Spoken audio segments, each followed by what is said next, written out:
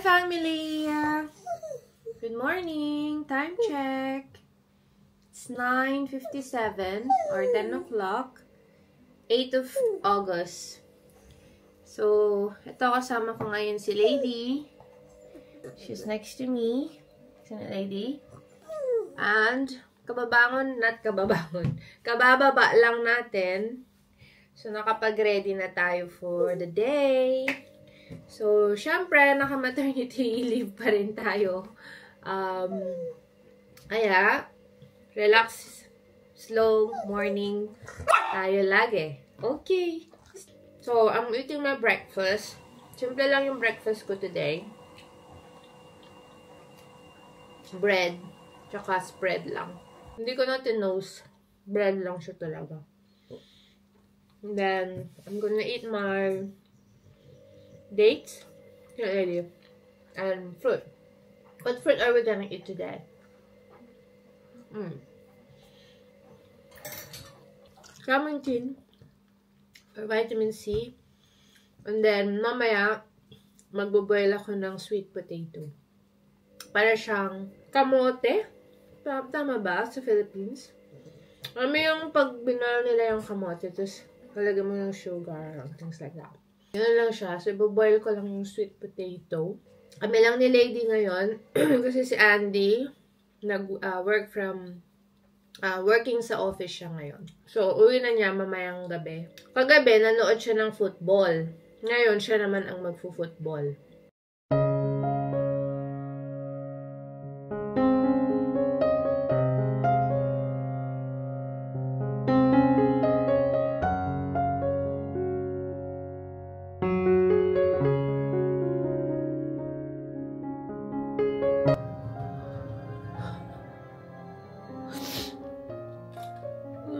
Lang naman ako ng vlog ng iba. Naiiyak na ako.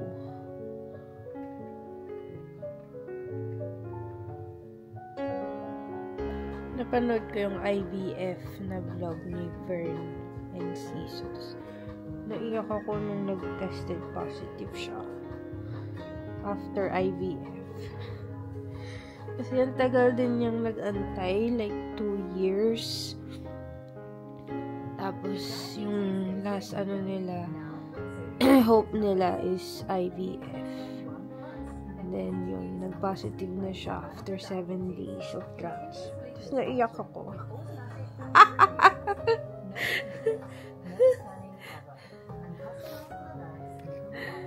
Bomb check! Diba? Ang laki na ni baby, oh. 37 weeks. Um, Monday, Tuesday. Three days. Naiyak ako. oh. Yeah. Mm. That's good.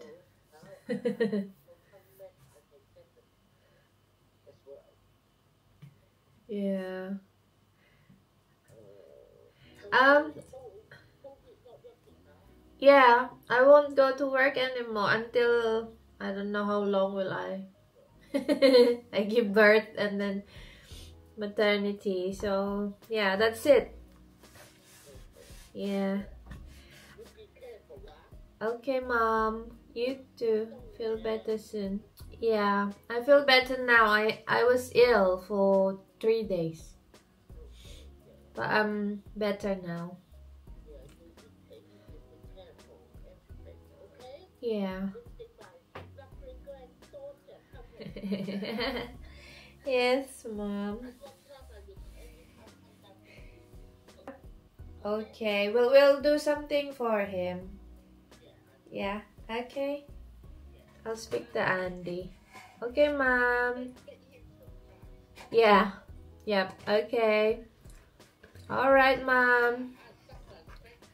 Yeah, we'll bring Summer. Okay, mom. Thank you for your call. Bye. See you soon. Bye. Right. Since meron tayong mga fruits here, we're going to cut them. Yan. Let's cut the watermelon and melon and pineapple Yan. Then I will put it here sa container. And then I will fridge it. So, taas.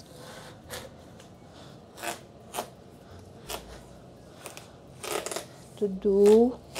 Ay! Wonky. Oh my god, it's so nice. So, yun na nga. Walang uh, katulong, walang yaya. Tapos, wala pa yung mami ko. Ay! Nahulog. Ba, ang layo. So, hindi ko naman masyadong iniisip yan kasi we're very capable naman. Pa. Just be positive sa mga bagay-bagay. Pag nahihirapan, have a little uh, rest. Ganon. Yung wag masyadong anuhin yung sarili. Pagurin. Tapos, nandiyan naman si Andy.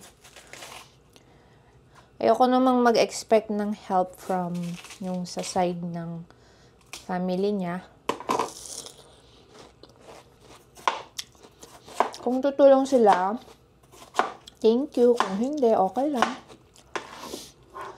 Nakaya nga nung iba, yung mga kalala ko dito sa UK. 'di ba?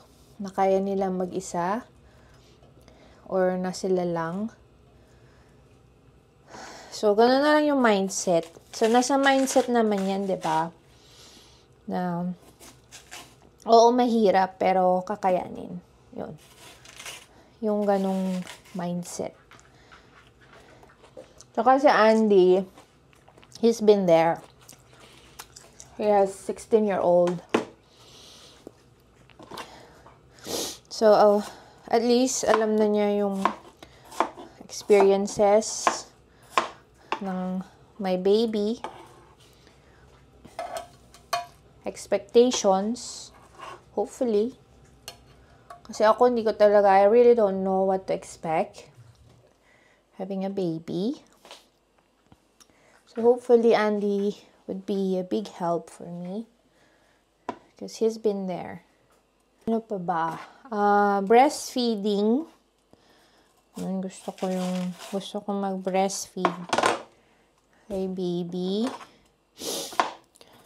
Kasi, wala, I just want to use, I just wanna give that to my child na i-breastfeed ko siya.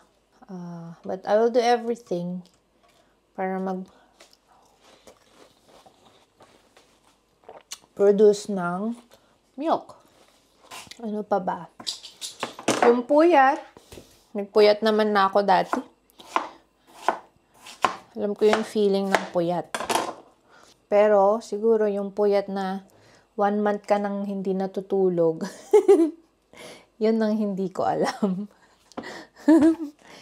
Exciting. Alam nyo, mostly relax ako kesa yung nagwo-worry ako. Hindi ko alam kung bakit. Feeling ko dahil I was meant to have this. Alam mo yung parang confident lang ako lagi. Dahil alam ko na hindi ako nag-iisa. Dahil I have faith na hindi ako papabayaan ng Panginoon. Kahit yung pain, alam mo yun, parang for when you give birth. Parang di, di ko lang sure in the next days, baka mag-iba, baka matakot ako or anxious ako. Pero, as of now,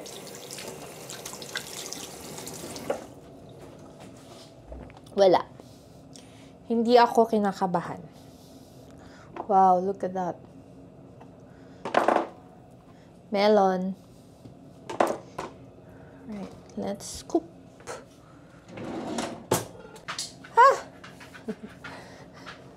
Kayo ba, family? Ano, ano yung mga na mommies na dyan? Magbigay naman kayo ng tip kung anong uh, tip nyo sa about to give birth moms. How to relax the nerves before going into labor. Madami naman akong pinapanood na video sa YouTube. Pero syempre, iba pa rin yung mga tips kung meron kayo dyan. Baka naman. Comment down below kung meron kayong mga tips na hindi ko pa nagagawa. Aray ko, yung anak ko,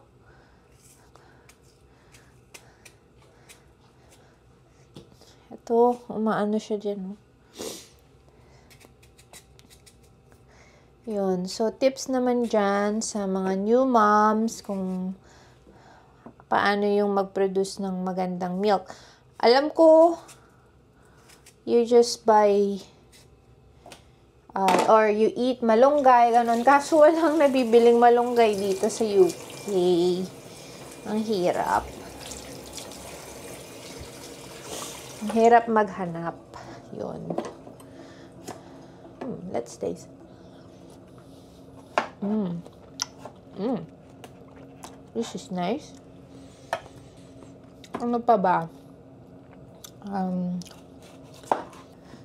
so, I'm excited more than kinakabahan. Kasi, syempre, magkakaroon na tayo ng supling. Naku, meron ng mangungulit-ngulit. Isn't it, lady? Meron nang dadagdag kay lady na mangungulit kay mommy. There will be someone who will will be like, Mommy, Mommy! Or Daddy! Pero exciting kasi syempre, bunga ng uh, kumbaga, they are half of us, our children. Hello! So, nakaset up tayo ngayon. Mamamalansya po tayo. So, plaplansyan ko yung mga damit ni baby. Ito. Yung mga newborn clothes niya. Diba? Kinuha ko yung upuan ni, ni Andy. Tingnan niyo si Lady. hey, other lady. Hello. Are you comfortable there? Kiss mama. Kiss. Yeah. Comfortable siya dyan. Sa upuan.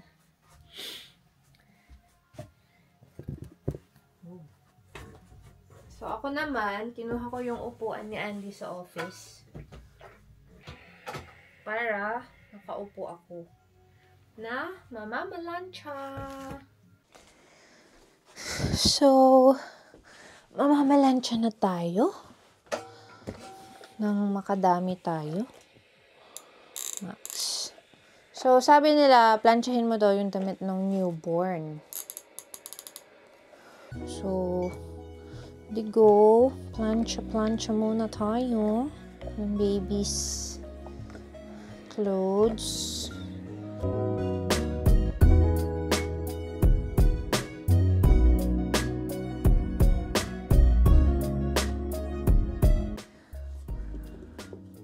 Right, habang tayo ay namamalansya,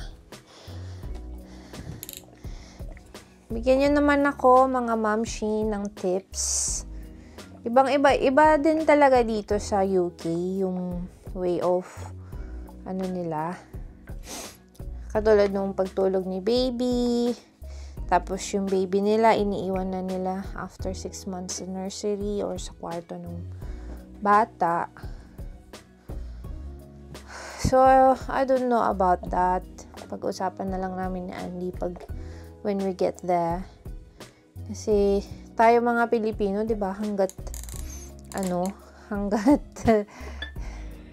pagtanda, katabi natin yung nanay at tatay natin. 'Di ba? Dito iba. Dito um kumbaga parang tinitrain nila yung anak nila na matulog sa uh, na hindi nila katabi. So, ganun siguro si baby paglaki niya. Tignan nyo naman, ang liit-liit ng kanyang mga damit. So cute. So, ito talaga yung mga first na clothes ni baby. Newborn.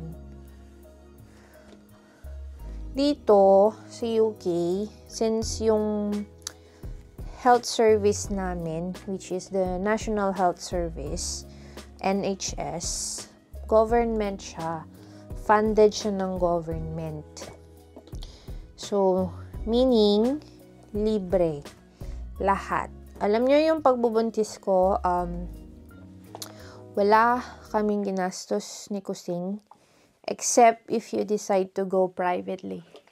Isn't it, lady? So, twice, I think, twice, oh, once lang kaming nag-private scan nang nag 4D scan si baby. Yun lang. Hindi natapos lahat ng medicines, ganun. As in, lahat provided ng hospital. So, kahit yung panganganak ko, wala, hindi namin problemahin yan kasi bigay nga, uh, bigay, free nga sa ano, uh, pagdating sa bayarin. Lahat. As in, kahit CS ka man, normal ka man, libre. Kahit yung mga consultation, mga medications, lahat yun, wala kang babayaran. Pero dito naman sa UK, aside from the tax, uh, malaki yung tax na kinakaltas sa'yo, ano, uh, meron ka pang binabayaran na they call it national insurance. Yun naman yung pagme-maintain nung mga uh, nung health, tapos yung pension ng mga tao dito, ganun. So, um, yun naman yung kinaganda nun. At saka, pros, yung pros and cons niya is, yun nga, may extra kang babayaran.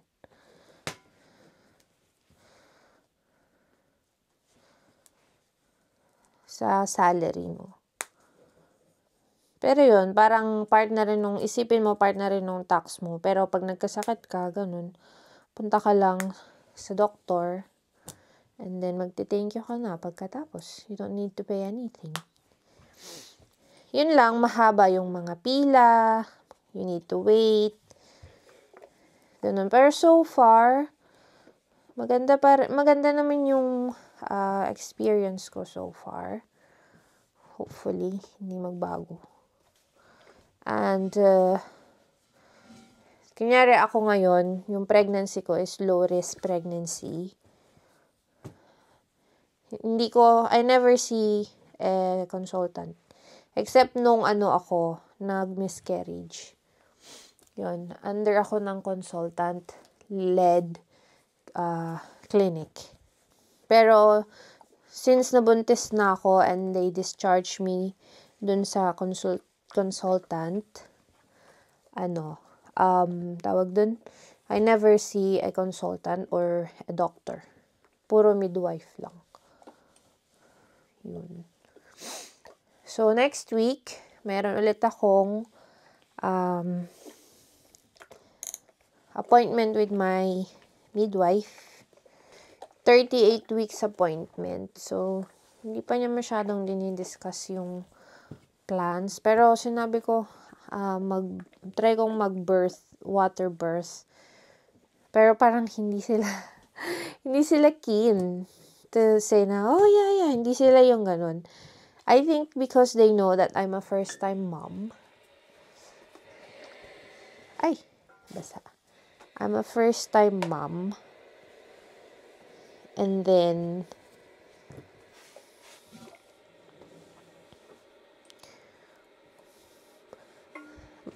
syempre, alam nila kung how it is like, 'di ba?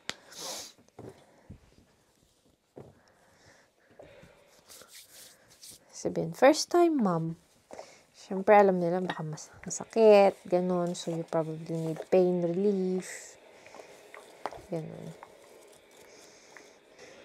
Na-excite ako na na-excite ako more than natatakot.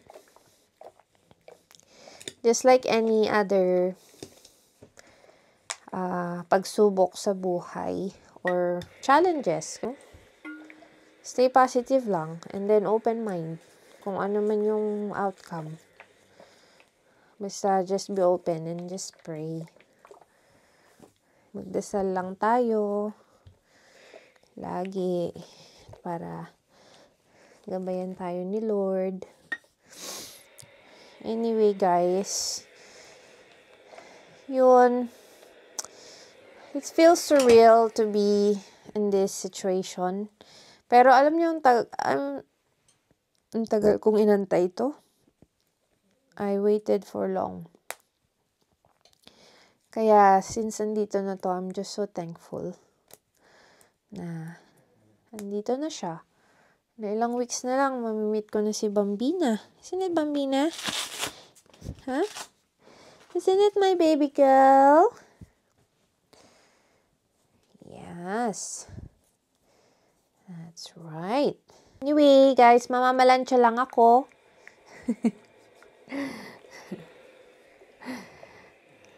diba? Daily vlog.